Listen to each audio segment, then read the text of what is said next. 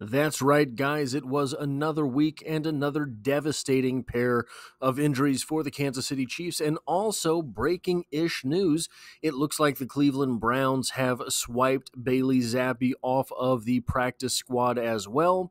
So, just to have one more thing to look forward to, the Kansas City Chiefs will have to find another quarterback to have as their emergency guy if that happens to be what they decide to do with that practice squad spot. Now,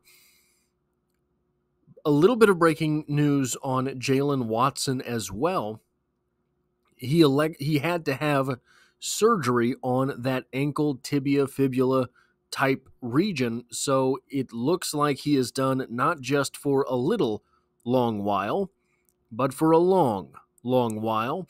And the speculation is that his season might be done regardless of how far the Kansas City Chiefs go in the playoffs. Now, the next bit of news in this video that's not quite so breaking, but did happen at a press conference, I believe it was yesterday, was that Andy Reid said that Juju Smith Schuster will miss the Raiders game. And I wanted to add a little bit of context on these two bits of the news. Juju Smith Schuster uh, missing the Raiders game, and Jaylen Watson going down long term. And let's start with Juju Smith Schuster. Look, if Juju Smith Schuster was in shape to try to go for the 49ers game, which was the case, he was going to, he stepped on the field. According to sources, he, he played four snaps for the Kansas City Chiefs. I did not notice that many. Um, he was on the field for that game testing his hamstring to see if he could go. Turned out he could not. If he was able to test the hamstring last Sunday, he would be able to test the hamstring against the Raiders as well. Meaning, what this means to me, what this says to me, what I think is going on here with Andy Reid taking to the press so early in the week and saying Juju's not going to be available is that this is Andy Reid telling his team it's time to nut up or shut up. You beat the 49ers without Juju Smith Schuster on the field, for all intents and purposes. You can beat the Raiders without Juju Smith Schuster as well. Now, that might be misleading because the Raiders are just one game worse than are the San Francisco 49ers. Three wins versus two wins. But what this is saying there was a couple years ago where the Kansas City Chiefs played the Broncos in the final, I think it was the final or the penultimate game of the season, and the Chiefs were very good and the Broncos were very not. And the Chiefs should have slept walked through that game. But what ended up happening is that the Kansas City Chiefs by snap count, kind of treated the game like a scrimmage, and it was a very competitive game. But you had to look at the snap counts to understand why it was so close. The Kansas City Chiefs did play their starters, but many of them played sparingly. Many of them played on and off throughout the game. And the, the message from Andy Reid must have been clear to the squad win this game. You need to win this game and we're not going to risk our health to do it. It appears to me that might be what we are seeing with this situation from Juju Smith Schuster already in week seven of this season. Now, this is not to say that Juju Smith Schuster is not injured. Uh, I believe he is injured. It is just to insist that uh, a week of knowing he doesn't have to test that hamstring, he doesn't have to go through the motions in practice, he can just rest that hamstring will get him will get him through recovery quicker. Hamstrings are very very tricky things. If you've ever pulled a hamstring, you understand that. It's not about rest, it's about how it is that you step on the it's a it's just a weird feeling in general. So I can't imagine what it's like for a professional athlete. Now, um, this is all, of course, speculation based on the fact that I don't know if the Kansas City Chiefs are going to acquire another wide receiver. But I do think that they will have to call up someone from the practice squad. I don't think they're getting through this game just using four wide receivers. I think they're going to call someone up, and we'll talk a little bit later about how that's going to go about. But just for memory's sake, on the practice squad now, as far as wide receivers are concerned, Justin Ross, six foot four, 210 pounds, runs around a 4.640. Differing, he did not officially run a 40 yard dash, differing reports around his speed, etc. Nico Remigio, 5'9, 187, ran a 4.56 40 yard dash, and Montrell Washington, 5'10, 170, with a 4.48 40 yard dash. Obviously, of this group, the wide receiver closest to what it is that Juju Smith Schuster does on the field, what Juju Smith Schuster presents on the field would be Justin Ross. He's a bigger, more physical guy, doesn't get a whole lot of separation. Juju doesn't get a whole lot of separation, just makes the catch. Will Justin Ross, if he is promoted to the active roster, end up being a guy that just makes the catch? We will maybe get back to the wide receiver situation a minute in a minute, but moving on to Jaylen Watson, the Chiefs will have one roster spot opened up in order to promote a wide receiver or whatever it is they decide to do with that roster spot because Watson is likely to be on the IR. It is not clear that they will use that spot to flex the cornerback position on the roster. The, the Chiefs do have a number of defensive backs on the practice squad, and we will get there in a moment. But I don't know that they are going to use the the freed up space from Jaylen Watson going on the IR in order to call up a defensive back. Why? Because the Kansas City Chiefs have a number of defensive backs on the roster already. It is not like they're going to be calling up Darius Rush to play cornerback number two they would be calling Darius Rush up to be the last cornerback on the roster.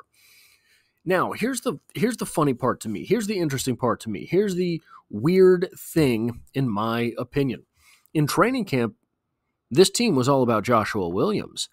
Joshua Williams was getting the big push and expected by many to be the cornerback number two. But when Jaylen Watson returned from that shoulder injury, Watson, uh, Williams essentially disappeared and has played a total of 50 snaps on the season. A total of 50 defensive snaps on the season, which leads to a couple of questions. One, why was Joshua Williams favored early in camp? Why was it that the coaching staff wanted or thought or speculated that he would be that number two cornerback for the Kansas City Chiefs. And the number two question that this leads to for me is are those reasons gone? Is were those were those thoughts proven wrong, or did Jaylen Watson return and simply outshine Joshua Williams? Which is to say, they thought Joshua Williams had improved his footwork, had improved his hand timing, they thought Joshua Williams had been able to work himself into a man cover corner. Those were their thoughts going into training camp. When Jaylen Watson returned and ultimately became cornerback number two, was it because it turned out Joshua Williams could not cover man, did not have the footwork, his hands were still slow, or was it that Jaylen Watson returned and was simply better than Joshua Williams?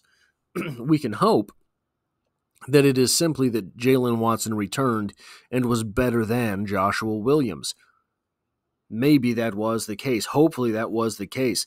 I think that Joshua Williams does have potential to be a number two cornerback in this league. I don't think he has the potential to be a number one. I think Jaylen Watson has the potential to be a number one the defensive backs on the practice squad for the Kansas City Chiefs right now. Nick Jones, drafted just last year, six foot tall, 189 pounds with a 4'5, 140. Darius Rush, signed off of waivers last season, reclaimed this season, six foot two, 198 pounds with a 4'36, 40 yard dash. Eric Scott, a veteran, six foot one, 197 pounds, 4'7, 140. That 4'7, 140, why he found himself on the waiver wire. Keith Taylor, Six foot two, 195 pounds, a 4.53 40 yard dash, a a true cornerback type veteran. Deon Bush, the most veteran of this group, though he is essentially a special teams ace, six foot tall, 200 pounds, 464, 40 yard dash. If you were looking at the names on this practice squad and who translates most convincingly to the role of Jaylen Watson in a made for TV movie, it would be Jaylen or Darius Rush. The size and the speed are there. Keith Taylor probably has a skill set most similar, but again, I do not think they will be promoting a defensive back from the uh, from the practice squad onto the active roster once Jaylen Watson goes on to uh, the IR. Jaylen Watson, by the way, tweeting out a broken heart emoji. Probably not great news, guys. But I think that the Kansas City Chiefs do have the personnel necessary to really. I think they're going to miss Jaylen Watson. I don't think it is going to devastate the defense. So let's get back to the wide receivers because I think this is where it gets most interesting because I think that roster spot is going to be used on one of these guys. And here's the thing they all have their selling points. Of these three, Montrell Washington has the most NFL experience. Montrell Washington has been around for a little while. Montrell Washington, maybe not the biggest guy, maybe not the most physical guy, but he's a fast guy. And at the NFL level, he has 692 return yards. Now, he only has 30 rushing yards and two receiving yards, on four receptions. So I'm not making the case that he's some type of Pro Bowler, uh, but he does have experience on an NFL field. And that's not worth nothing. It's worth something, as to not use a double negative. But Nico Remigio offers, in my opinion, the most stickability here. I think that Nico Remigio finds himself as one of these guys that is a glue guy on the field, that is that has the opportunity to be a first down machine in the NFL. If he is able to work his way into the Andy Reid offense and be someone that can be counted on to be in the right place at the right time, I think he has the best chance of this group. And this is coming from a Justin Ross fan. I can't tell you how much I have supported Justin Ross on this channel, but Justin Ross, I think, has had opportunities and maybe hasn't done as much with them as I would have thought or hoped that he would. So, of these names, I think that Nico Remigio. So here's okay. So here's the the big question: How long lasting will this Juju Smith Schuster hamstring issue be? Because you only have a limited amount of times that you can call one of these practice squad players up before you have to sign them to the roster in order to keep them. That affects your salary cap. That, I think, is the big reason why the Chiefs are avoiding this move as long as they can. You have, you're 6 and 0. There's 11 games left in the regular season. That's a lot of time for one of these guys to have to be called up multiple times. The minute you call, I think it's, I think they have three shots, elevations from the practice squad to the regular roster. You elevate them a fourth time, you have to give them an NFL contract, and that comes with a, a hit to the salary cap for whatever that contract is worth. Now, don't quote me but I think that's what it is. So it might be that until the Juju Smith Schuster stuff gets figured out, until maybe there is a trade. Well, there's only one more game before the trade deadline, right?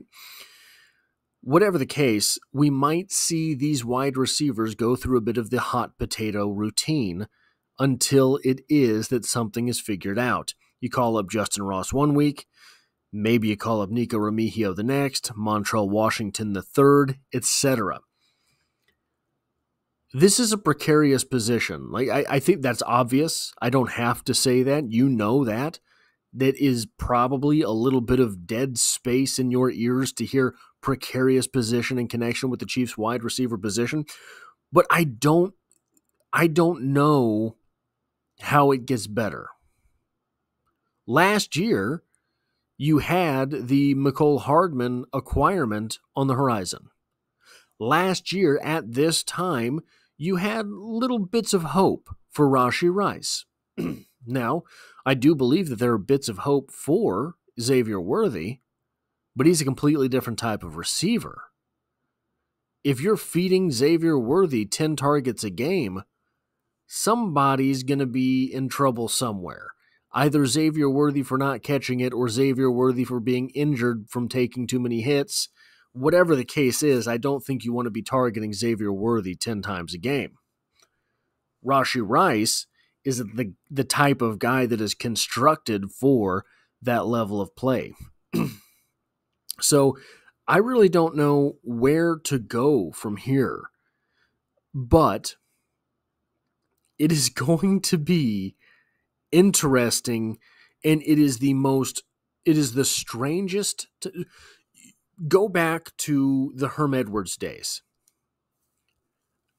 There were lots of roster moves back then, and it was fun, right? Because you thought, well, they're going to throw some spaghetti at the wall, they'll see what sticks. In fact, I think Herm Edwards was even quoted as saying, We're going to throw it against the wall, talking about his quarterback position one of those seasons.